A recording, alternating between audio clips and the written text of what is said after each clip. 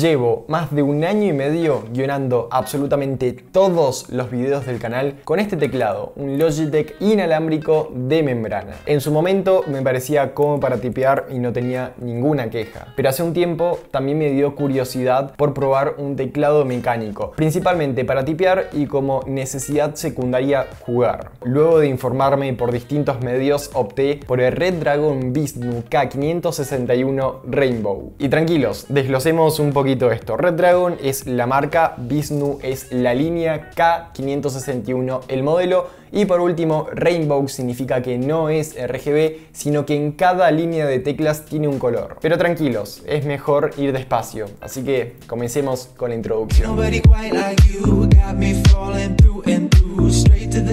Primero y principal, en un teclado mecánico es muy relevante el tipo de switch que incorpora y el fabricante. Con respecto a lo último, las principales marcas son Cherry, Kale, Logitech, Outemu y Razer. Posiblemente algunas nos suenen más que otras como Logitech y Razer básicamente porque cuentan con otros productos también. Pero ojo, si nos centramos solo en el switch, Cherry es uno de los más populares, abarcando el 90% de los teclados mecánicos. Y surge la pregunta de qué características debemos considerar a la hora de elegir un switch. Hay tres principales. La primera es el recorrido, es decir, la distancia que recorre la tecla desde que se pulsa hasta que llega al fondo. Esta generalmente se mide en milímetros. Segundo, la fuerza de actuación. En otras palabras, la fuerza que necesitamos para que la tecla haga todo el recorrido. Y por último, el punto de actuación, que es el momento en el que se registra la pulsación. Lo anterior fueron características, pero también debemos considerar que existen distintos tipos de switches. El primero lo denominamos ruidoso, y como dice su nombre, se caracteriza por su sonido, pero ojo, es su doble sonido. El primer ruido se escucha cuando toca el fondo del switch y el segundo cuando pasamos el punto de actuación.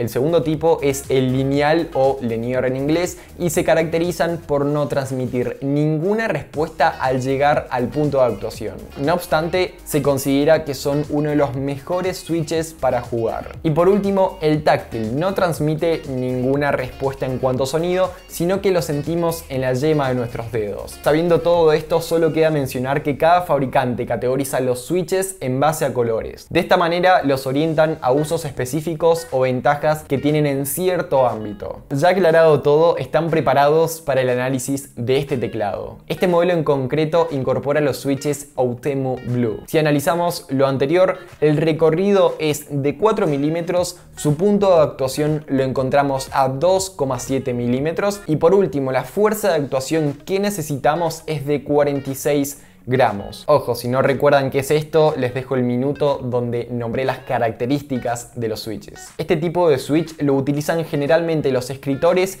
y programadores, tanto como los gamers. Pero ojo, para gaming es recomendable, pero no para juegos que requieran velocidad y doble tipeo. Hace un tiempo juego CSGO y noté que al presionar control una vez se agacha rápidamente, pero si suelto y lo presiono ligeramente de nuevo se agacha más lento. Y esto es porque el Switch no sobrepasó el punto de actuación. Con respecto a la fabricación del teclado y del diseño, realmente 10 puntos para su precio. Está fabricado en aluminio y las teclas en plástico ABS. Asimismo, agrega dos patitas con una goma antideslizante, al igual que en su otro lado. Pero ojo, si por algún motivo no utilizas estas patitas, no tiene un antideslizante en la parte superior y esto lleva a que resbale. Si sos descuidado y se cae un vaso de agua sobre el teclado, posiblemente tengas más posibilidades de que sobreviva ya que en la parte trasera tiene agujeritos que funcionan como drenaje. Cabe destacar que no tiene un software para instalar, pero de igual manera se pueden configurar los distintos perfiles con las mismas teclas. A ver, tampoco hay algo súper interesante. Podemos cambiar los modos presionando la tecla función más insert.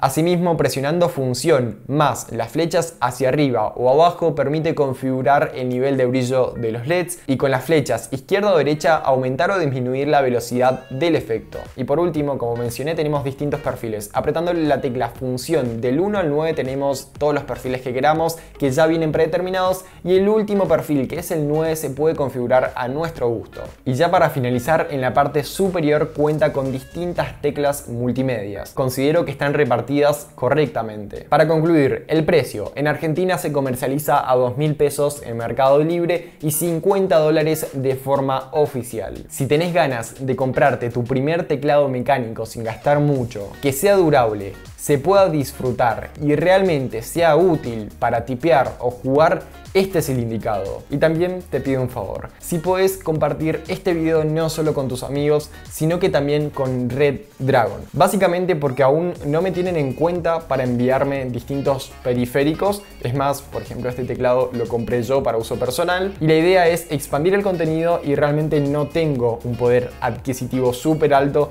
para comprar miles de periféricos. Ahora sí, si te gustó, deja tu like, suscríbete y nos vemos en el próximo video. Chao, chao.